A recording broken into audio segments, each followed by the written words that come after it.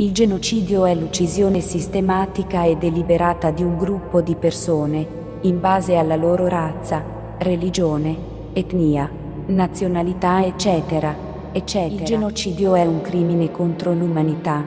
È un atto di odio e violenza che non dovrebbe mai essere dimenticato. Mai essere dimenticato. Nel corso della storia ci sono stati molti genocidi.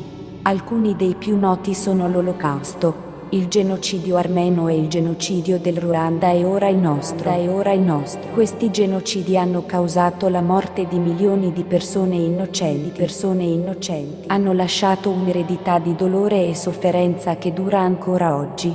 Dobbiamo fare tutto il possibile per fermare questo genocidio nella nostra terra. Nella nostra terra. Dobbiamo educare le persone sulle conseguenze di questo crimine.